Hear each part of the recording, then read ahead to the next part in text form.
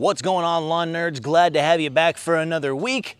And this one's not gonna be a lot of tips because we're gonna mow and stripe this thing and possibly wash this house because it's Memorial Day. Let's go.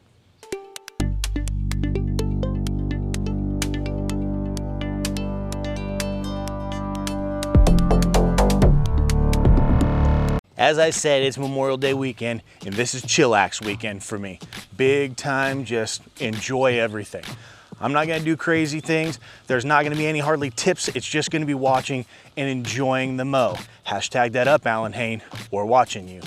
So with that, probably gonna throw a double cut in, get them stripes on for people driving around tomorrow, because want that lawn to look good.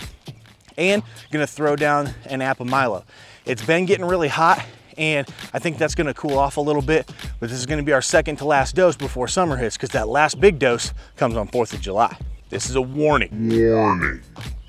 That there's a lot of mowing and ferting in this video. Not a lot of talking. So if that's not what you're into, that's what you're getting and you'll have to wait for the next one.